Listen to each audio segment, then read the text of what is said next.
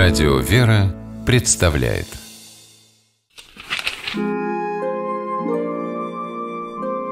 Сегодня, 12 ноября, церковь вспоминает священномученика Зиновия, епископа Игейского и сестру его мученицу Зиновию, святых апостолов Тертия, Иуста и Марка, святого Стефана Милютина, священномученика Матфея Казарина.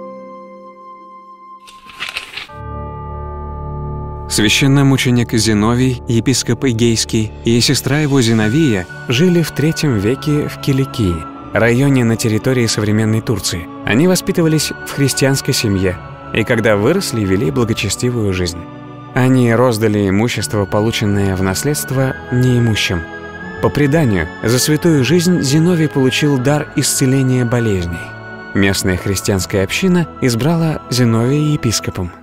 Когда император-язычник Диоклетиан запретил исповедание христианства, Зиновия схватили одним из первых.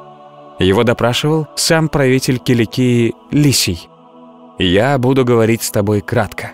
Предлагаю тебе жизнь, если поклонишься нашим богам, и смерть, если не поклонишься», — сказал он. «Жизнь без Христа и есть смерть», — ответил епископ Зиновий. Священномученика Зиновия приговорили к пыткам и казни. Его сестра Зиновия пожелала разделить его участь. «Велите мучить и меня, я тоже христианка», — обратилась она к палачам. Верная и преданная сестра, она не оставила брата до последней минуты их земной жизни. На иконах этих святых тоже всегда изображают вместе. Прославляя святых мучеников Зиновия и Зиновию, церковь также чествует их единомыслие. Они были семьей и по крови, и по духу. Они сохранили и пронесли это родство сквозь муки и испытания. Церковь обращается к священномученику Зиновию и мученице Зиновии. Молите Бога о нас.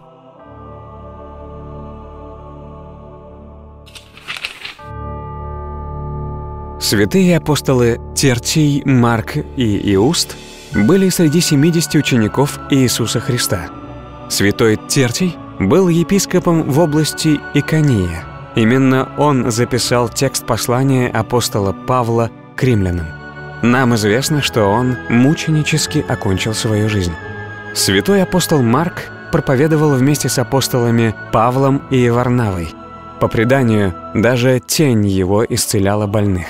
В доме его матери Марии часто находили приют другие ученики Христа. Апостол Иосия или Иуст, что значит «праведный», был сыном святого Иосифа Обручника. Он с самого детства был рядом с Христом и стал одним из первых его учеников. После предательства Иуды апостол Петр предложил, чтобы кто-то занял опустевшее место. Из тех, кто дольше всех знал Иисуса Христа и был его учеником, подходили лишь Иуст и Матфей.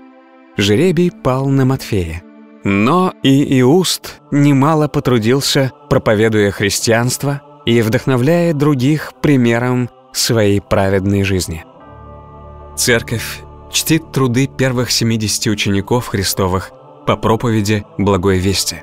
Многие из них стали жертвами гонений за имя Христова и сподобились мученического венца. Сегодня мы просим святых Тертия, Марка и Иуста. Молите Бога о нас.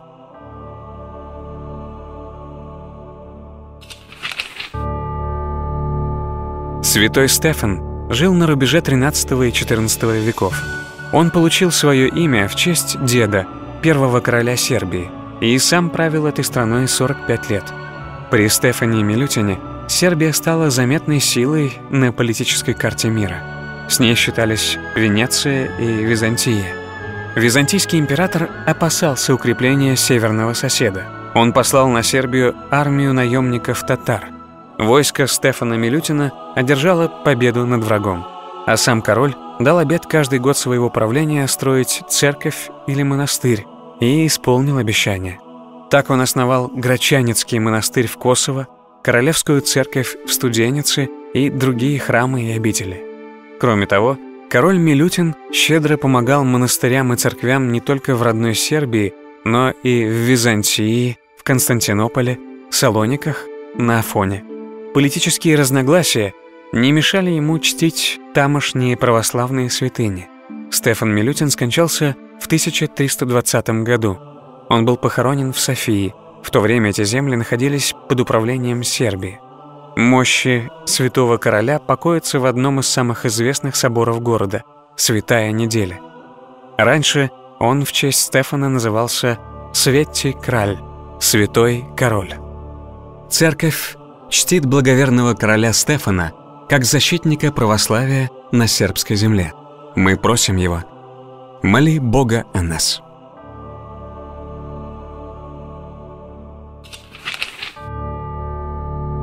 Протодиакон Матфей Казарин родился в 1886 году в Мордовии в семье псаломщика. Не сохранилось данных о том, как и где он принял диаконский сан. Известно, что в первый раз протодиакон был арестован в 30 году и приговорен к двум годам лагерей. Второй арест последовал в 37-м. В обвинении значилось, что протодиакон Матфей входил в состав церковно-монархической повстанческой организации – вел среди населения контрреволюционную агитацию, возводил клевету на политику партии и советского правительства. Приговор – 8 лет лагерей он отбывал в Карагандинском лагере. В его личном деле имеется характеристика – к работе относится добросовестно, к инструментам отношение бережное, к труду относится хорошо и честно. Но труд этот оказался непосильным – Священномученик Матфей Казарин умер в 42 году в лагерной больнице. К лику святых он причислен в 2000 году. Первых мучеников христиан называют основой и фундаментом церкви. В 20 веке русская православная церковь явила всему миру новый сон мучеников и исповедников. Своим примером они засвидетельствовали, что есть ценности выше самой жизни. Церковь просит их «Молите Бога о нас».